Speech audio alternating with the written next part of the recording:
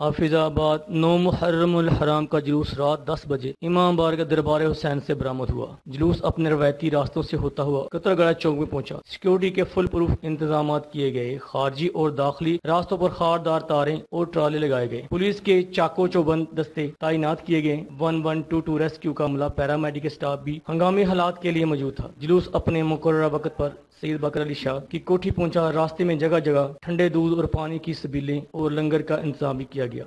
Zafar Jamal, city news, Hafizabad.